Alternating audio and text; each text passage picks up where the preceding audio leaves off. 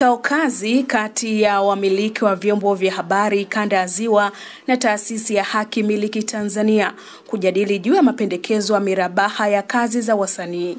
Mapendekezo ya rasimu ya tuzo hii ni kupata maoni mapya toka kwa wamiliki wa vyombo vya habari ambao ndio wanasimamia vyombo hivyo. Bora kuendelea na tozo la mwanzo ili kutokuharibu, kwa sababu bado hujaleta mrejesho wa nyuma, lakini tayari umeshaongeza tozo kwenye uh, pendekezo lako jingine. Kuna swala ambalo tulilizungumza mwaka 2019 hapa wakati tunatoa mapendekezo ya nyuma, nalo lilikuwa ni kwamba je, asilimia ngapi ya wasanii wamesajiliwa na KUSOTA, kwa hivyo wanastahili kupata mirabaha? Hatuna jibu mpaka sasa.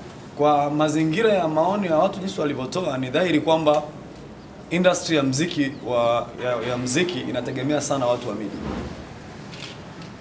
na kwa maana hiyo, na ukijaribu kuangalia, sisi kama sisi watu wa redio tunapiga mziki, lakini sisi hatupati chochote kutoka kwenye hiyo miziki. Suala la vyombo vya habari kulia ukata, ikiwemo kutopata matangazo yenye kukidhi ulipaji wa tozo hizo mpya, nalo likabainishwa na wadau hawa wa vyombo vya habari kutoka kanda ya Ziwa. Kipato chetu kikubwa hapo awali tulikuwa tunaangalia fedha kutoka au biashara yetu ni pamoja na taasisi za serikali ambazo sasa hivi biashara na wenyewe wamechannel zaidi kwenye taasisi za serikali kufanya nazo biashara kwenye miji. Kwa hiyo sisi tunaotoka private mapato yameshuka kwa kiasi kikubwa sana, kwamba cable operator hivi, si nani hivi hivi. Kweli wengi wameshasema humu, biashara sasa hivi katika nchi hii ni ngumu.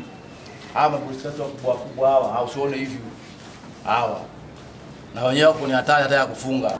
Mwanasheria kutoka taasisi ya Haki Miliki Tanzania Lupakiso Mwambinga anatolea ufafanuzi baadhi ya hoja zilizowasilishwa na wamiliki wa vyombo vya habari katika kikao hicho. Na mtu ambaye amesajili kazi nyingi, yani mtu labda mfano ambaye amesajili nyimbo nyingi ndiye aliyekuwa anapata mirabaha mingi, lakini hilo sio standard, sio ile lengo ile ile standard hata za wenzetu.